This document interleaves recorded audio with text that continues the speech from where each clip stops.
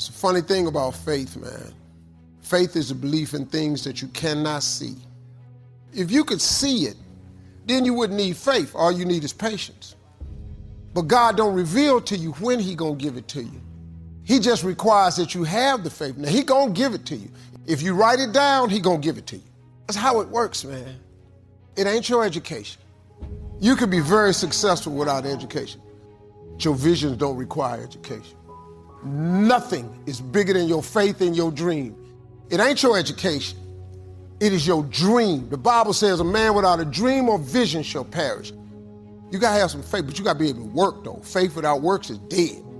Once you lock that in, you can win. Somebody watching me right now, you don't even see daylight. You don't see no sign.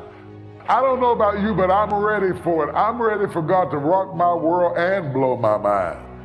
My constant prayer is increase my capacity. Capacity for stress, capacity for anxiety. And I came to tell every person in this room, you can do this. Or God wouldn't have put you in the situation if you can't do this.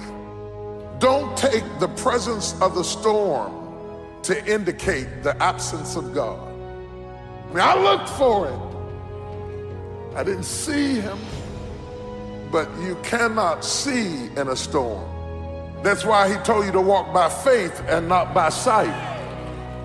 You steer through the storm based on the solidarity of your faith and understand that this too shall pass.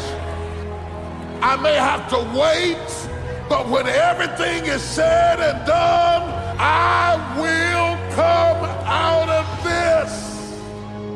up on your dream. Don't give up on your hope. Don't give up on your promise.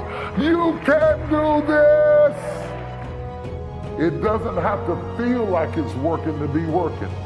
It doesn't happen on your schedule, but that doesn't mean it's not working. You're going to win if you don't quit. You're going to get comfortable if you don't quit. It takes a while to own it. That's why it's important that it not be given to you. Because if I give it to you, I can take it from you. God is faithful. He will not let you be tempted with more than you can bear.